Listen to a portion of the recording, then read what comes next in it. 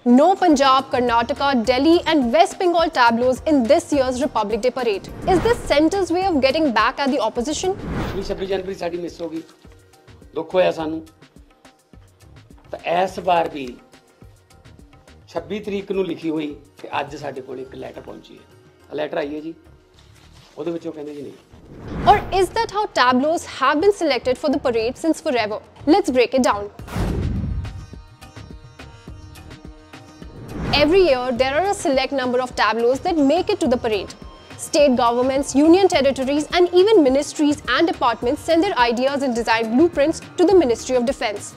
This year, the application for this was November 10, 2023. The proposals are then evaluated by a committee appointed by the Defense Ministry. This committee has people from the field of arts, culture, painting, sculpture, music, architecture, choreography, and so on. In the first stage of this process, the initial proposal and blueprint is evaluated.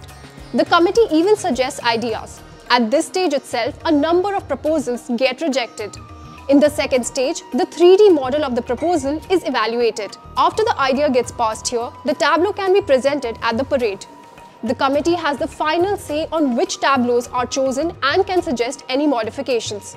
Every year, the Defense Ministry has an overarching theme. This year's theme is Viksit Bharat or Developed India and Loktantra ki Matrika or India, the mother of democracy. There are also some basic guidelines like using bright images or content, using robots or VR or special effects. Tableaus who follow this get more weightage.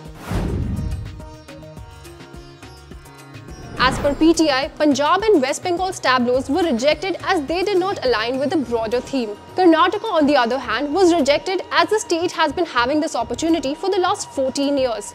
This time, they wish to give this to some other state. For more informative videos like this, keep watching India Today News Mo.